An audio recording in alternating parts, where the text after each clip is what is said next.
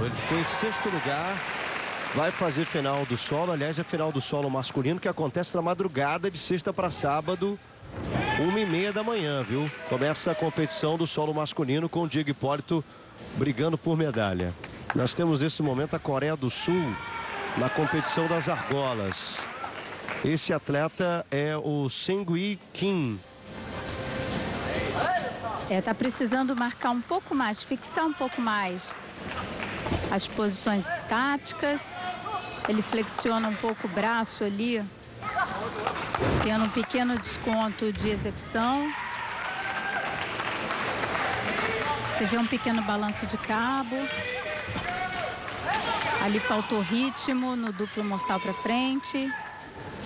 Você vê que a argola balança o tempo todo. Ele deve ter um desconto no final da série. Ali você vê que na parada de mãos ele tem os braços apoiados no cabo da argola. A saída é em duplo mortal.